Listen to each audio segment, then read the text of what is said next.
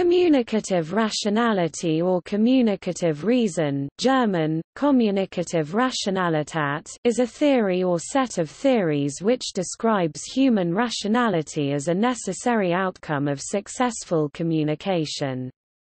In particular, it is tied to the philosophy of German philosophers Karl Otto Apel and Jürgen Habermas, and their program of universal pragmatics, along with its related theories such as those on discourse ethics and rational reconstruction. This view of reason is concerned with clarifying the norms and procedures by which agreement can be reached, and is therefore a view of reason as a form of public justification. According to the theory of communicative rationality, the potential for certain kinds of reason is inherent in communication itself. Building from this, Habermas has tried to formalize that potential in explicit terms. According to Habermas, the phenomena that need to be accounted for by the theory are the intuitively mastered rules for reaching an understanding and conducting argumentation, possessed by subjects who are capable of speech and action. The goal is to transform this implicit know-how into explicit know that, i.e. knowledge, about how we conduct ourselves in the realm of moral practical reasoning. The result of the theory is a conception of reason that Habermas sees as doing justice to the most important trends in 20th-century philosophy, while escaping the relativism which characterizes postmodernism, and also providing necessary standards for critical evaluation.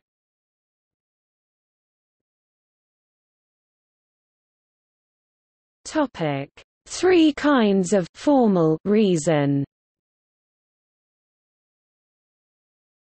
According to Habermas, the substantive i.e. formally and semantically integrated rationality that characterized pre-modern worldviews has, since modern times, been emptied of its content and divided into three purely formal realms, 1 cognitive instrumental reason, 2 moral practical reason, and 3 aesthetic expressive reason.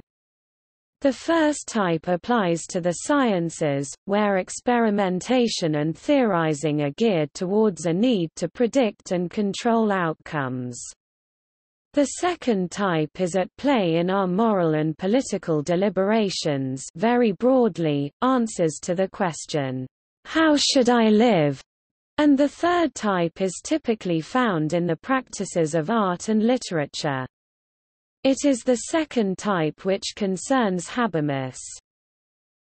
Because of the decentering of religion and other traditions that once played this role, according to Habermas we can no longer give substantive answers to the question, "'How should I live?'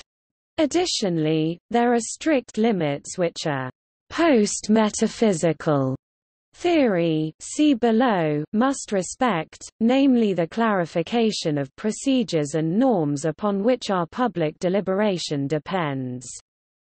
The modes of justification we use in our moral and political deliberations, and the ways we determine which claims of others are valid, are what matter most, and what determine whether we are being rational Hence the role that Habermas sees for communicative reason in formulating appropriate methods by which to conduct our moral and political discourse. This purely formal division of labor has been criticized by Nikolas Kompridis, who sees in it too strong a division between practical and aesthetic reasoning, an unjustifiably hard distinction between the right and the good, and an unsupportable priority of validity to meaning.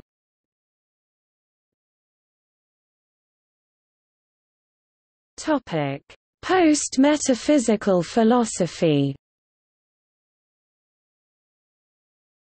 There are a number of specific trends that Habermas identifies as important to 20th-century philosophy, and to which he thinks his conception of communicative rationality contributes. To look at these trends is to give a clear outline of Habermas's understanding of communicative rationality. He labels all these trends as being post-metaphysical. These post-metaphysical philosophical movements have, among other things, called into question the substantive conceptions of rationality e.g., a rational person thinks this, and put forward procedural or formal conceptions instead e.g., a rational person thinks like this. Replaced foundationalism with fallibilism with regard to valid knowledge and how it may be achieved.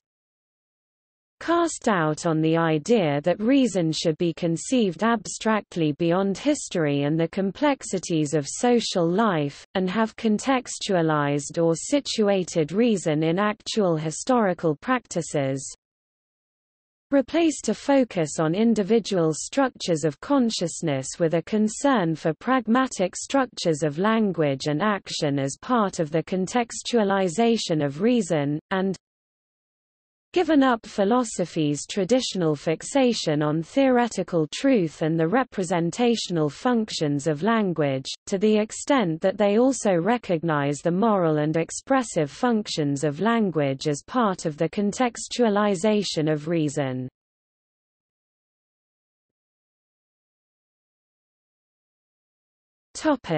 Explanation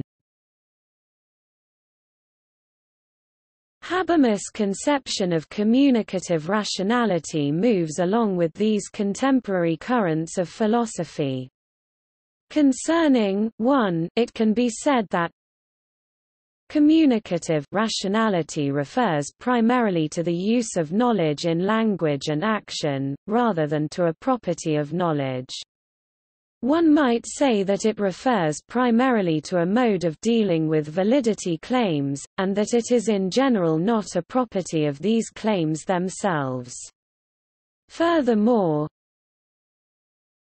this perspective suggests no more than formal specifications of possible forms of life. It does not extend to the concrete form of life, Concerning 2, Habermas clearly and explicitly understands communicative rationality according to the terms of a reconstructive science. This means that the conception of communicative rationality is not a definitive rendering of what reason is, but rather a fallible claim. It can prescribe only formal specifications concerning what qualifies as reasonable, being open to revision in course of experience and learning. On 3 and 4, Habermas's entire conceptual framework is based on his understanding of social interaction and communicative practices, and he ties rationality to the validity basis of everyday speech. This framework locates reason in the everyday practices of modern individuals. This is in contradistinction to theories of rationality e.g. Plato, Kant, etc. that seek to ground reason in an intelligible and non-temporal realm, or objective view from nowhere, which supposes that reason is able adequately to judge reality from a detached and disinterested perspective. While Habermas's notion of communicative rationality is contextualized and historicized, it is not relativistic. Many philosophical contextualists take reason to be entirely context-dependent and relative. Habermas holds reason to be relatively context-specific and sensitive. The difference is that Habermas explicates the deep structures of reason by examining the presuppositions and validity dimensions of everyday communication, while the relativists focus only on the content displayed in various concrete standards of rationality. Thus, Habermas can compare and contrast the rationality of various forms of society with an eye to the deeper and more universal processes at work, which enables him to justify the critique of certain forms i.e., that Nazism is irrational and bad and lend support to the championing of others i.e., democracy is rational and good.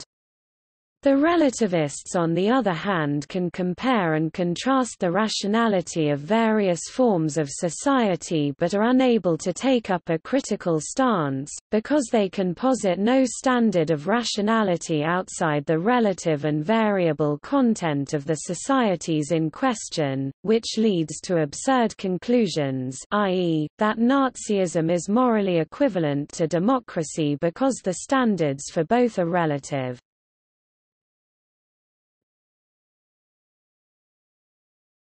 Topic: Validity dimensions. Concerning 5, Habermas's communicative rationality emphasizes the equal importance of the three validity dimensions, which means it sees the potential for rationality in normative rightness we, theoretical truth it, and expressive or subjective truthfulness I. The differentiation of these three worlds is understood as a valuable heuristic. This leaves each to its specific forms of argumentation and justification. However, these validity dimensions should be related to one another and understood as complementary pieces in a broader conception of rationality. This points towards a productive interpenetration of the validity dimensions, for example the use of moral insights by the sciences without their having to sacrifice theoretical rigor, or the inclusion of psychological data into resources of moral philosophy. These last points concerning the breadth of communicative rationality have by far the most important implications.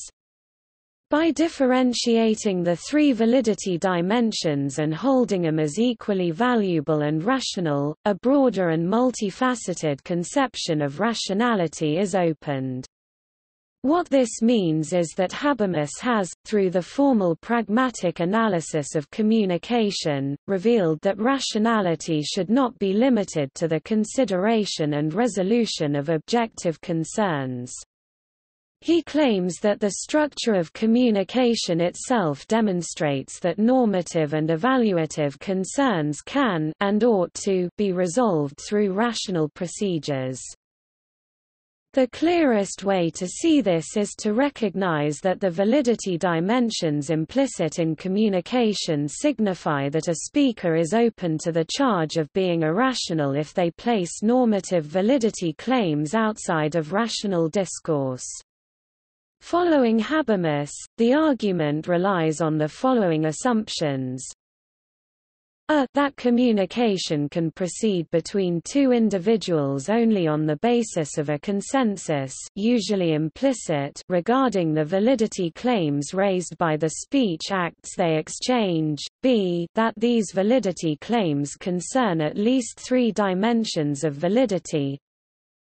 I. truthfulness we, rightness it, truth c that a mutual understanding is maintained on the basis of the shared presupposition that any validity claim agreed upon could be justified, if necessary, by making recourse to good reasons. From these premises it is concluded that any individual engaging in communication is accountable for the normative validity of the claims they raise.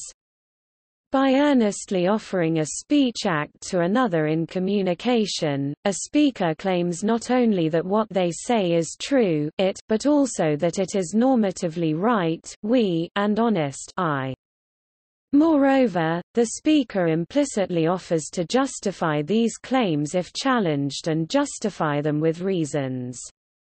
Thus, if a speaker, when challenged, can offer no acceptable reasons for the normative framework they implied through the offering of a given speech act, that speech act would be unacceptable because it is irrational. In its essence the idea of communicative rationality draws upon the implicit validity claims that are inescapably bound to the everyday practices of individuals capable of speech and action. A mutual understanding can be achieved through communication only by fusing the perspectives of individuals, which requires they reach an agreement even if it is only assumed on the validity of the speech acts being shared. Moreover, the speech acts shared between individuals in communication are laden with three different types of validity claims, all of which quietly but insistently demand to be justified with good reasons. Communicative rationality appears in the intuitive competencies of communicative actors who would not feel that a mutual understanding had been achieved if the validity claims raised were unjustifiable.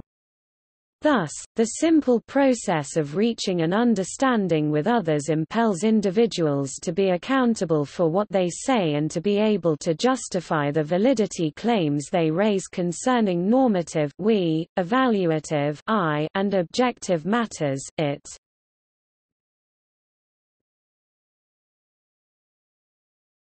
Topic: Standards of justification. Of course a very important issue arises from this, which is that what constitutes a good or acceptable justification varies from context to context. Even if it is accepted that rationality must be expanded to include normative and evaluative dimensions, it is not clear what it is that makes a speech act justified, because it is unclear what constitutes a good reason. It must be understood that there are different kinds of reasons in relation to the different validity dimensions.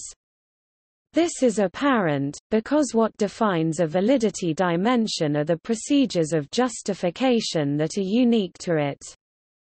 For example, if one claims or implies with their speech act that it is raining outside, a good reason for claiming this is that one saw it out the window. If this were called into question, the claim would be vindicated by looking out the window. This is a very simple way of describing the procedures of justification unique to objective validity claims. However, if one claims or implies with their speech acts that abortion is acceptable in certain cases, one's reasons for claiming this must be of a different nature. The speaker would have to direct the attention of the listener to certain features of the social world that are infused with meaning and significance. The speaker would have to draw on insights into, for instance, the vulnerability of individuals under the weight of life's circumstances, the kinds of rights that humans deserve, etc. These types of considerations make up the resources available for the justification of normative validity claims. What constitutes a good reason is a more complex problem. Accepting the distinction between the different kinds of reasons that accompany the differentiation of the validity dimensions does not give any insight into what a good reason in a particular validity dimension would be. In fact, it complicates the issue because it makes it clear that there are different procedures unique to each validity dimension and that these dimensions cannot be reduced to one another. Habermas does suggest some general guidelines concerning the rationality of communicative processes that lead to conclusions see Universal Pragmatics. But his explanations regarding the specific procedures that are unique to each validity dimension are much more elaborate.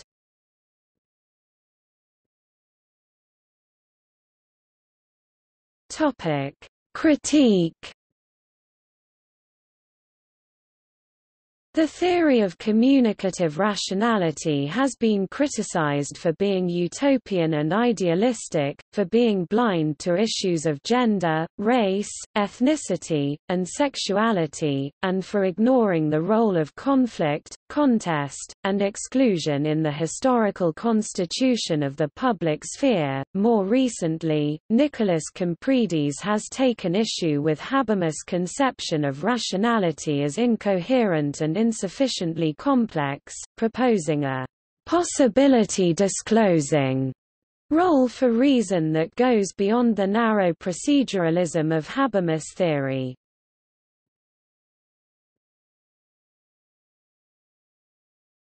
Topic. See also. Instrumental and value rationality. Instrumental and value rational action. Michael Friedman philosopher.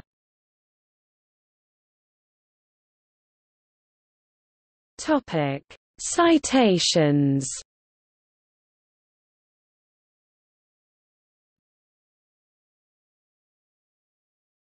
Topic Sources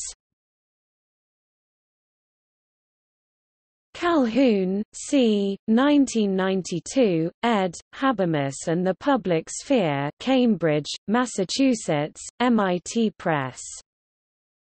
Cohen, J. L., 1995. Critical Social Theory and Feminist Critiques, The Debate with Jürgen Habermas. In Johanna Meehan, ed., Feminists read Habermas, Gendering the Subject of Discourse New York, Routledge, pp. 57–90. Cooke, M., 1994, Language and Reason, A Study in Habermas's Pragmatics Cambridge, Massachusetts, MIT Press. Eley, G., 1992. Nations, Publics, and Political Cultures, Placing Habermas in the Nineteenth Century. In Craig Calhoun, ed., Habermas and the Public Sphere Cambridge, Massachusetts, MIT Press, pp. 289–339. Foucault, M., 1988. The Ethic of Care for the Self as a Practice of Freedom. In James Bernauer and David Rasmussen, eds. The Final Foucault Cambridge, Massachusetts, MIT Press, pp. 1–20. Fraser, N. 1987. What's Critical About Critical Theory? The Case of Habermas and Gender. In Seyla Benhabib and Drusilla Cornell, eds. Feminism as Critique, on the Politics of Gender Cambridge, Polity Press, pp. 31–56. Habermas, J. 1992. Themes in Post-Metaphysical Thinking. In Post-Metaphysical Thinking, Philosophical Essays, W. Hohengarten, trans. Cambridge, Massachusetts, MIT Press, pp. 28–57. Kompridis, N. 2006, Critique and Disclosure, Critical Theory Between Past and Future. Cambridge, Massachusetts, MIT Press. Ryan, M.P., 1992. Gender and Public Access, Women's Politics in Nineteenth-Century America. In Craig Calhoun, ed., Habermas and the Public Sphere Cambridge, Massachusetts, MIT Press, pp. 259–288.